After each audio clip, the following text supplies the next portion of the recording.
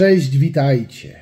Dziś mamy dawno niewidzianego gościa.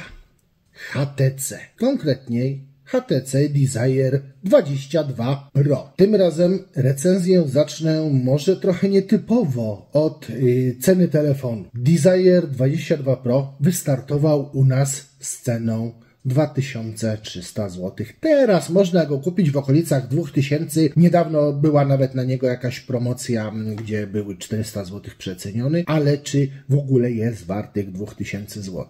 No cóż, mam bardzo mieszane odczucia względem tego smartfona i przyznam szczerze, że dawno nie miałem takiego zgryzu przy nagrywaniu recenzji. Już się zapewne domyślacie, że smartfon mnie nie zachwycił. Ale zacznijmy od początku, czyli od stylizacji tego telefonu. Popatrzcie, telefon za 2000 zł, powiedzielibyście, bo ja, gdybym tej ceny nie znał i gdybym nie wiedział, co to jest za smartfon, powiedziałbym, że mam w ręku jakiegoś budżetowca. U dołu hmm, dosłownie lotnisko brudka, jak w tanich telefonach. Reszta ramki także nie należy do najwęższych, szczególnie u góry. No, wygląda to delikatnie ujmując niezbyt nowocześnie i niezbyt modnie, chociaż producent przemycił tutaj nowoczesny akcent w postaci otworka na aparat do selfie. Jak już zauważyliście zapewne, obudowa zrobiona jest z tworzywa. Ma na szczęście certyfikat szczelności IP67, więc ten telefon zamoczenia w sumie się nie boi. Ma też bardzo praktyczną szufladkę na kartę, którą wysuniemy za pomocą paznokcia bez żadnych dodatkowych narzędzi. To też jest fajny szczegół, tym fajniejszy, że szufladka obsługuje co prawda hybrydowo, ale jednak dual SIM oraz ewentualnie rozbudowę pamięci za pomocą karty microSD. Na ramce już pewnie wnikliwsi widzowie zauważyli też mini jacka. To jest kolejna fajna rzecz w tym telefonie, ale wróćmy do stylowy. No, budowa stworzywa w telefonie średniopółkowym w okolicy 2000 z groszami. Jest to rzecz do wybaczenia. W dodatku, jak to zazwyczaj bywało w przypadku HTC, można powiedzieć, że rzecz jest nawet całkiem ładna. Tyle, że niestety bardzo szybko urodę swą traci, kiedy zaczniemy telefon używać. On się momentalnie palcuje, a doczyszczenie tego tylnego panelu, jak już widzicie, nie jest zbyt łatwe, a co gorsza, ten panel bardzo łatwo się rysuje. Szkiełko zasłaniające wyświetlacz Również niestety dość łatwo jest zarysować i mój egzemplarz ma już kilka rysek, a używam go stosunkowo krótko, 2-3 tygodnie. Zatem już obudowa nie do końca pozytywnie mnie nastroiła, ale obiektywnie muszę powiedzieć, że całość jest sztywna, nie trzeszczy, jest to dobrze zmontowane, a jakość użytych materiałów jest nie najgorsza, chociaż ten tył, przyznam szczerze, przyjemny w dotyku, ale to jak szybko się brudzi, no niestety jakoś nie nastraja mnie zbyt pozytywnie do tego telefonu. Niezbyt pozytywnie nastroił mnie również wyświetlacz. Poza tym, że ta niezbyt modna szeroka ramka to jest to ekran po prostu w technologii LCD. Klasyczny wyświetlacz. Moi drodzy, w tej chwili bez problemu znajdziemy dużo tańszy telefon z dużo lepszym wyświetlaczem AMOLEDowym, ale żeby było zabawniej, to tu producent jednak zaimplementował Always on Display w ekranie LCD. W dzień wygląda to jako tako, w nocy po prostu koszmarnie, bo ten ekran cały czas świeci taką szarawą poświatą. Nie jest to przyjemne, kiedy śpimy w zaciemnionym pomieszczeniu. By było weselej, nad ekranem mimo wszystko jest dioda powiadomień, zatem ten Always on Display moim zdaniem stosując ekran klasyczny z podświetleniem od tyłu, mogli sobie darować. Sam wyświetlacz w sumie jest nie najgorszy. Do jego czytelności większych zastrzeżeń nie mam. Oczywiście pamiętajmy, to jest LCD, więc nie liczcie tu na super nasycone kolory, nie liczcie tu na głęboką czern i nie liczyłbym też na dobrą czytelność w słoneczne dni. Kiedy słońce pada na ten ekran, no to niestety nawet przy wybraniu czy to automatycznego ustawienia jasności, czy wybraniu ręcznie maksymalnej jasności, niestety obraz nie jest zbyt czytelny i korzystanie z tego telefonu na pełnym słońcu niestety jest, no cóż, niezbyt przyjemne, niezbyt łatwe. Na pocieszenie HTC dało tutaj odświeżanie na poziomie do 120 Hz, ale w menu nie znalazłem opcji wyboru, czyli prawdopodobnie jest to regulacja automatyczna, bo nie mam wpływu, nie mogę sobie włączyć na stałe wysokiego odświeżania, nie mogę sobie włączyć na stałe tego niższego, żeby oszczędzać akumulator. Po prostu jest 120 Hz i człowieku nie zadawaj zbędnych pytań. Dziwne podejście, no ale cóż, tak też można. Równie dziwne podejście zaobserwowałem w interfejsie. Pamiętam z dawnych lat interfejs HTC, który wyróżniał się na tle konkurentów i który powiem szczerze, że lubiłem. Tutaj mamy dziwny miks dawnego interfejsu HTC, którego echa zobaczymy na przykład wybierając zegar wyglądający tak jak przed laty w telefonach HTC, ale w zasadzie cała ta powiedzmy wierzchnia warstwa interfejsu wygląda jak podstawowy, czysty, niemalże Android. Na pocieszenie HTC nie dokłada tutaj zbyt wielu zbędnych aplikacji. Owszem, jest kilka firmowych apek, ale nie są to rzeczy, które można by nawet próbować nazwać bloatwarem. Są to rzeczy w sumie przydatne, w sumie potrzebne. Nie dali tu niczego, czego byśmy po prostu nie chcieli, co z miejsca każdy z nas by chciał odinstalowywać. I w gruncie rzeczy mógłbym powiedzieć, że interfejs jest czysty, schludny i przyjemny. Niestety, na początku korzystało mi się z tego telefonu niezbyt przyjemnie. Moi drodzy, każde odblokowanie telefonu owocowało zwiechą i to taką, że nie dawało się w zasadzie z nim nic zrobić. Mogłem go tylko zablokować, odblokować ponownie i po kilku takich cyklach telefon wreszcie ruszał. Na szczęście nadeszła aktualizacja dosyć szybko i sprawnie i problem zniknął. No ale powiem szczerze, niesmak pozostał, bo to nie jest HTC, jakie pamiętam i jakie chciałbym widzieć. Od firmy pokroju HTC, z którą wiążą się moje liczne i przeważnie pozytywne wspomnienia, oczekuję więcej, oczekuję tego, że telefon po prostu będzie działał świetnie. A na początku, no niestety, wesoło nie było. Potem na szczęście się poprawiło i w zasadzie w późniejszym okresie zużytkowania tego telefonu myślę, że mogę być zadowolony. Urządzenie pracuje całkiem sprawnie, przestało się ciąć i wszystko wygląda, że jest już w jak najlepszym porządku. Może zatem ta początkowa wpadka po prostu była wpadką. Oczywiście według mnie nie powinna ona w ogóle mieć miejsca, ale cóż, tak czy siak warto podkreślić, że producent jakoś to ogarnął i problem zniknął. Jeżeli chodzi o wydajność tego telefonu, no to rzeczywiście mamy do czynienia za średnią półką. Jest po prostu średnia. Wiadomo, w benchmarkach ten telefon jakoś szczególnie nie zabryluje, ale co najważniejsze, pracuje stabilnie i nie grzeje się nawet pod silniejszym obciążeniem. To jest bardzo fajna cecha i tutaj, jeżeli chodzi o stabilność, co zresztą potwierdziły stres testy, można ten smartfon pochwalić. Pracuje równiutko. Nie ma trotlingu, nie grzeje się. Tu jest akurat zrobiona już dobra robota. Trochę gorszą robotę zrobiło HTC w kwestii zabezpieczeń. Mamy rozpoznawanie twarzy, które po prostu działa. To prosty układ oparty o aparat do selfie. Mamy też czytnik linii papilarnych na boku obudowy. To umiejscowienie czytnika ja bardzo lubię. Tutaj, jeżeli chodzi o ergonomię,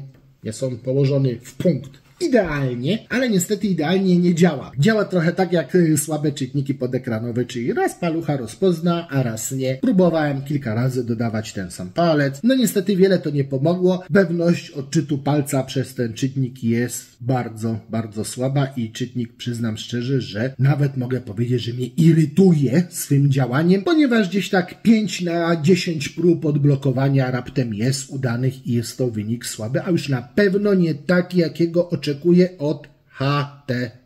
Nie mam poważniejszych zastrzeżeń do tego, jak nasz Desire spisuje się w roli narzędzia komunikacji. Wszystko działa tak, jak powinno. Telefon bez problemu utrzymuje zasięg, bez problemu współpracuje z akcesoriami. Wszystko jest w jak najlepszym porządku. Może poza dźwiękiem z głośników, które mogłyby być lepszej jakości, zarówno ten słuchawkowy podczas rozmów, jak i głośnik, nazwijmy to multimedialny, który jest tutaj jeden, brzmią mocno przeciętnie i nie należy nastawiać ich na pełną głośność, bo wtedy jeden i drugi zaczynają brzmieć już nieco nieprzyjemnie, ale powiedzmy w swojej podstawowej roli mogą być. A jak ocenię akumulator? Akurat tutaj jest całkiem nieźle, chociaż bateria nie ma jakiejś przesadnie dużej pojemności, ten telefon jest w stanie pracować dwa dni bez ładowania. W tym momencie można powiedzieć, że z osiągów baterii można być zadowolonym. Trochę mniej cieszy mnie to, że nie ma tutaj szybkiego ładowania. Jest takie w miarę 18-watowe Szału nie ma, w dodatku w pudełku zabrakło ładowarki. Zatem naładowanie tego telefonu niestety trzeba zaplanować, poświęcić na to, jeżeli jest całkowicie rozładowany, dobre dwie godzinki. Na pocieszenie HTC dało ładowanie indukcyjne, którego szczerze przyznam,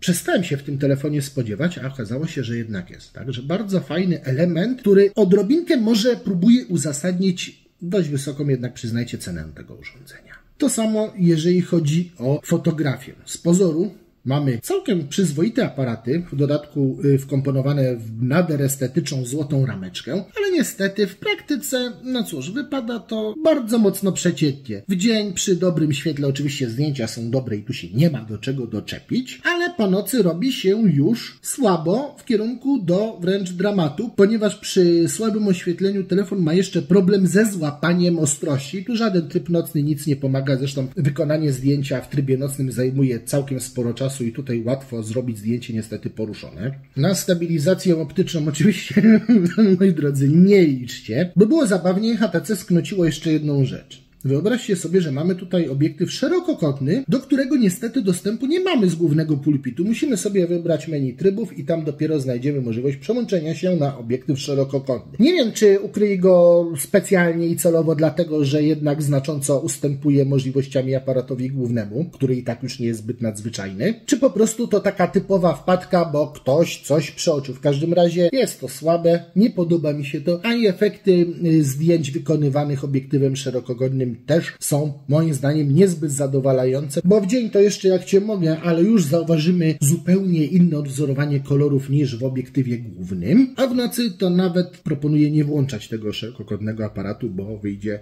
to bardzo słabo. Nie ma aparatu do makro. Próbowałem robić makro zarówno obiektywem głównym, jak i tym szerokokątnym. Da się, ale trzeba się naprawdę mocno napracować, żeby odpowiednio chwycić ostrość i też nie zawsze uzyskamy zadowalający efekt. To samo z portretami. Niby jest całkiem fajny, bo pięciomegowy aparat do dbania o ładne, efektowne rozmycie tła na naszych portretach, ale to rozmycie, no cóż, precyzyjne niestety nie jest. Im bardziej oczywiście skomplikowane tło i im bardziej rozwiane włosy ma model, tym gorzej, ale nawet z moją całkiem gładką czaszką na w miarę gładkim tle ten aparat miał problemy, a jeżeli chodzi o selfie, to już w ogóle zapomnijcie o rozmywaniu tła, bo jest jeszcze gorsze, a i sama jakość, chociaż oczekiwalibyśmy co najmniej dobrej po 32-megowym aparacie do selfie, jest też taka mocno przeciętna, a w nocy po prostu, powiedzmy to wprost, marna. Jeżeli chodzi o filmowanie, kolejna zaskoczka. To telefon za 2000 zł, który nie nagrywa w rozdzielczości 4K. A i sama jakość filmów też jakoś szczególnie nie powala. Podobnie zresztą jak i dźwięk, który z przedniej kamery bywa trochę przesterowany, natomiast z aparatu głównego trochę jakby przyszumiony, przymulony. Ogólnie w kwestii wideo również szału nie ma. Raczej nie jest to telefon dla tych, którzy liczą na nadzwyczajną jakość filmu. Jakiś film, nawet w miarę poprawny, byleby w dzień, tym telefonem nagracie, ale na jakieś spektakularne efekty to już też bym nie liczył i jest to zdecydowanie poniżej progu oczekiwań w tym segmencie w okolicy 2000. Gdyby to był telefon budżetowy, spoko. Słowem bym się nie odezwał, wręcz nawet jeszcze bym pochwalił, bo tak jak mówię, filmy nadają się do oglądania, ale w telefonie za 2000 nie mieć 4K to już tak w tej chwili troszeczkę... Hmm. Troszeczkę nie dzisiejszo, co z drugiej strony zdaje się pasować do tych niedzisiejszych ramek wokół wyświetlacza tego telefonu. Cóż, y, pora to jakoś y, podsumować. Hmm. Powiem Wam szczerze, gdybym wiedział, jak jest ten telefon, nawet bym go nie ściągał na testy, bo Coś we mnie pękło. Produkty HTC sprzed lat wspominam dobrze. To były świetne telefony. Miały tam może swoje mm, niedociągnięcia, ale były jakieś. HTC zawdzięczamy przecież linii papilarnych, metalowe obudowy, dodatkowe obiektywy. To wszystko robiło HTC w zasadzie jako pierwsze, o czym mało kto pamięta. Ba, pamiętacie kto zrobił pierwszy komercyjnie oferowany telefon z Androidem? No właśnie HTC. I co się, moi drodzy, z tym biednym HTC stało? No cóż, ja naprawdę nie wiem, jakim cudem HTC w ogóle zrobiło taki telefon i w dodatku próbuje go sprzedawać za cenę w okolicy 2000 zł. Gdyby to był telefon z segmentu budżetowego, no powiedzmy, niechby kosztował te 1200 zł, byłaby to całkiem niezła propozycja. Ale przy 2000 to już niestety konkurenci po prostu gniotą go na miazgę. Ale, ale, ale. Atutem tego telefonu ma być jego współpraca z goglami rzeczywistości wirtualnej. HTC preinstaluje tutaj apkę do obsługi własnego ekosystemu. Mnie, prawdę mówiąc, to zupełnie nie pociąga, ale faktycznie do tego telefonu możemy sobie dobrać gogle VR od HTC. I według mnie HTC radzi sobie bardzo dobrze w dziedzinie VR-u i powinno przy tym pozostać. Przykro mi to mówić, ale niestety, no fakty są jakie są. To nie jest udany telefon, a już na pewno nie jest to telefon wart 2000 zł.